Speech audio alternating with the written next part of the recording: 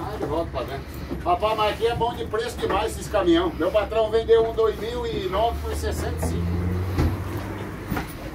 Na gaiola boiadeira. Só que não assim, né? A gaiolinha boiadeira.